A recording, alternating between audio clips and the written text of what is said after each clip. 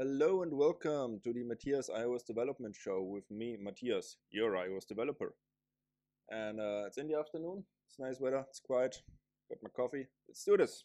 Today we're going to talk about array sorting and how you can make your own custom array sorting algorithm. Uh, it's possible in Swift, there's some nice options available, let's just walk through them.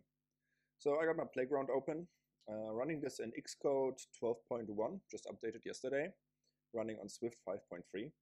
And let's just start with regular arrays we already have and then work towards uh, what we want to have. So I made us an array of integers, which has a number 0, 12, 64, 7000 something to see. And uh, what you can do with a regular array is you can call int array.sort to automatically sort everything that's in here, just by just like that. And if you run it, you see that now we get a different output. The array is now sorted in 0, 0, 2, 12, etc. What is also super nice is that this thing works with strings. So if you make a string array, hello, A, B, so, so here we have a string array which is not sorted at all. And if we call string array dot sort on it, and we run it, what happens then is that this is also sorted alphabetically which is a super nice feature. Now, you, you might have seen uh, in the auto completion that there's two sorting functions, so sort, and uh, they are sort and sorted.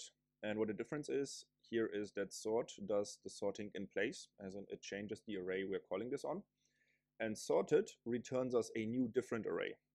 So we can say let new array equals string array sorted and now we actually copy the array and then sort it through. And there's there's lots of um, there's lots of examples where and cases where you might want to do the one might want to do the in-place sorting or you might want to do the copied sorting. But that's just to get the, the standard sorting out of the way. Let, let's go back to the int array sorting. And what this thing is doing here basically this is this entire thing int array dot sort is short for saying int array dot sort open curly bracket. And then we say dollar sign zero smaller than dollar sign one. Now I'm just going to remove this one here for our case. And let's run it. Oh you can see already uh, this one also sorts through the array and this is basically the condition by which we want to sort the thing. So if we say we're compared to the first element with the next element, we want the final thing to be, we want the first one to be smaller than the next one, and so on. So basically every, every element combination should follow these rules that we put down here. And you're already thinking, hey, hang on a second, this is just a smaller, smaller than sign. What if we change this to a larger than sign and run this thing through? And if we do this, you can you can totally see here, hey, hang on a second, this is now sorted from the top to the bottom. Hey, isn't this neat? Going even further, this actually, this dollar sign zero is bigger than dollar sign one, smaller than dollar sign one, is even more a shorthand. This is shorthand for if dollar sign one is larger than dollar sign zero. If dollar sign zero is larger than dollar sign one, then we say return true and otherwise we return false. And I'm just going to throw in here return false just to shut up the compiler because they always want to return it here. And what this basically means is um, if this condition is true, oh no, this is actually fine, we don't need this. If this condition here is true, if in this case where we want to sort from the top to the bottom, uh, dollar sign zero is higher than dollar sign one, uh, then we return a true. And that means that element, the first element, should come first. Otherwise, that element should come after the other one. And this can be then um, shortened again into just saying, oh, okay, if this is because because this is a this is a this is um a case that evaluates to be either true or false. And with this knowledge, you can already see, hang on a second, that means we can put in more complicated logic here, can we not? Yes, we can. So let's um, let's put all of this one here just into an algorithm, which we can then call. I'm gonna start with this, gonna keep it the same. Call it call it func integer sorting algorithm. Then I'm going to open the bracket. First int, second also an int, and it has to return a boolean. Has to be true false. Going return first is bigger than second. And now we can call this by saying int array sort by our integer sorting algorithm. and we can run the same thing again. And we get again an, an, array sorted from the top to the bottom. And what's happening here? This is our own. This is our own closure, our own sorting function we put in here. And uh, these are our two elements, which we have here up as zero, dollar one. And um, I'm, wrote, I'm writing these out as first and second. Now I've seen people writing them out as A and B or LHS and RHS. This, this stands for left-hand side and right-hand side respectively. I'm not a fan of this at all because this is supposed, you know, uh, if you say uh, LHS and RHS, you have abbreviations, which is not really that readable. And if you have A or B, this is a one one vari one letter variable, which, which could be fine, but but then probably your linter will also complain like, yeah, just don't don't don't do this one letter variable thing, because this will cause issue in the future. And um, now now we're going to show you how to make this into our own custom algorithm. So right now we've been sorting integers and strings, which is which is easy enough. But uh, I had this I this curious case when I was working on an own project. It was a to-do app where you can mask you can you can mark mark mark you can mark a task as either being being to do or being done and we did this with a task state it's an enum and we say case to do case done and then we have a bunch of task structs say it has a name string and has a status, task state. And uh, let's, let's just create a few. So for task array, I'm just going to turn off my coffee machine.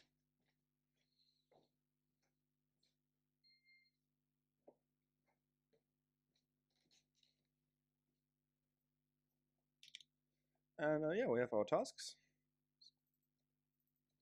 we have our tasks and um, we have our tasks and let's just create a few uh, for our thing. So we say var task array equals task, what do we call it? Um, water. Writing this short for debug purposes, but it's like, oh, drink water.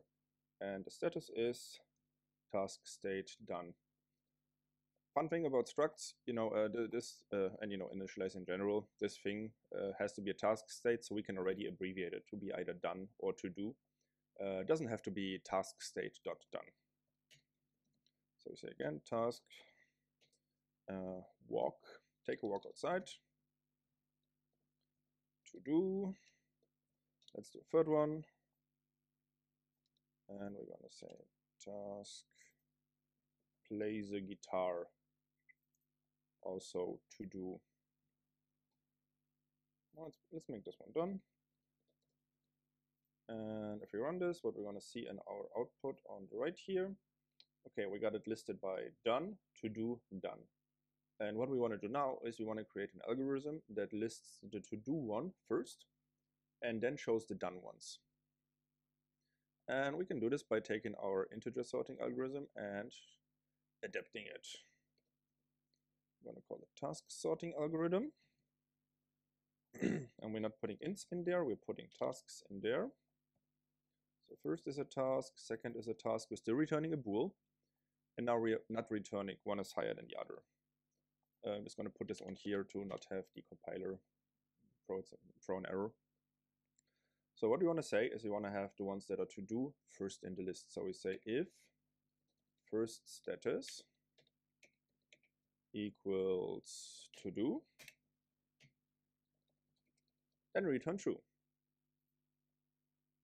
And we can write this out further. We can say else if first status equals done, then return false. And this is uh, this is a bit written out. This is a bit verbose. Uh, we're, we're going to we're going to beautify this in a second. So what we're doing here basically is we compare our all of our elements first to the second element. And if the first one is a to-do, then we're already done because the to-do will always be on top, so we can already return true. But if the first one is not to-do, it's if it's a done thing, then we return false. And we mean, okay, this one is supposed to come afterwards. Uh, we can, of course, um, beautify this. We can just say, we, we can make this an else because there's only two cases right now. And you know we, we can even remove this else and we can just say if first is to do, then return true, or even put this into a ternary, uh, which I'm not doing right now. We want to keep this kind of readable. And uh, but now we're going to make this more complicated. Now we want to say, okay, we don't have two task states. We don't have to do and done. We also have the case of failed. That is a task which you can fail in a day, where you say, uh, eat no candy. Uh, don't eat any candy. And there's a point uh, during the day where you can say, okay, I've eaten some candy. This task is failed. It's not done. It's not to do. Uh, we are not. We, we won't, we won't be able to do this task anymore. So we can fail it. And the way we want to list it is we want to have the to-do ones on top, the ones that are done underneath, and the ones that are failed all in a block underneath. So let's just add a third one to here, to our list, candy, and we're going to give it failed, the failed status. And uh, just want to get the output here. So we have the list done, to do, failed, and the last one is also done. And uh, now we want to sort this in a way where now we want to sort this in a way where, as mentioned, it comes in, in to do, done, and then failed. And uh, hang on a second, we didn't run the other thing.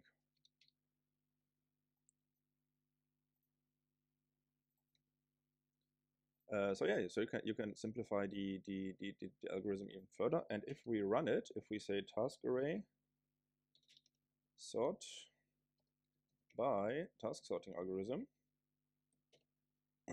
don't need those here in a moment.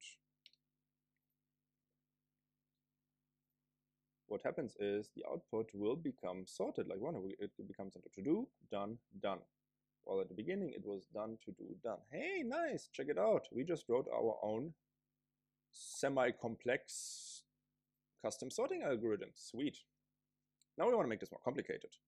Now we want to have um, a third task state in here. So now we want to be able to not have a task be only just to do and done, but also to have it be failed. And uh, wrote this in here. Uh, so we have our case to do, case done, case failed. And what this means is you can have a task where you can objectively fail it during the day. Say a task is don't eat any candy. And then there can be a point at which you say, okay, the task is failed. We are not thinking about this anymore. And the listing should be, okay, at the top we have the to-do tasks. Then come the done tasks, and then comes a huge block of the failed tasks. So let's just write another one in here. Task name no candy and the status is failed. Oh, it's a comma. And if we see our list out here, uh, it's done, to do, no candy. Thank you very much. Done, to do, failed, and this one is also done. And what we want to have down here is, um, this isn't working yet, this is still running the old one This is saying to do, done, failed. Yeah, we want this thing to list them out in blocks. So I'm gonna I'm gonna write these out in pseudocode first because that makes it more understandable. So we want the to-do ones on top, done, failed. And if we write now, okay, if we check if the first one is already status is already to do then we can immediately say, okay, return true. This one will always be on top. To do ones will always be on top. if we go for the face failed one, if we say if the first is already failed, then this one will always be at the bottom. Doesn't matter what else is happening. So you can already say, okay, this one is already false. Get more, it, get, it, it gets more complicated if the first one is actually done. Because if the first one is done and the second one is to do, then we want the second one to come first. But if the first one is done and the second one is failed, then we want the first one to come first. So here we say if first status equals done. And then we got to ask what the status of the second one is. So we go if second status equals to do. So now we return false because we wanted to do one to come first. But if the second status in this case is failed, then we want the done one to come first. So we return true. And uh, yeah, looks pretty good. Let's give it a spin. and what do we got? Okay, we got our array sorted by to do, done, done, failed. Nice! We just wrote a much more complicated sorting algorithm for our own for our own custom struct and the way we want to sort this. Now this of course can be um, beautified a lot and put into a much more complicated, uh, much more elegant, I mean, expression. And um, of course, we can also uh, also clean this up. Uh, so, so the last one, if status has failed, is return false. We don't need that check here then, because if we come to that check, it is a failed task, and we can already return false. We can also return this, remove this one here. This can just be a regular else. And um, probably turn this into a ternary, ternary operator of some sort if you're so inclined. And yeah, that is it. Thank you so much for watching. Don't forget to leave a like underneath the video. Uh, this is my first one. Uh, super happy, uh, super looking forward to, to it. And very important, if you can press that like button. Mm, don't forget it. Also follow me on Twitter. I'm Matthias underscore code for more output similar to this and the other stuff I'm doing. Thank you so much for watching and see you next episode.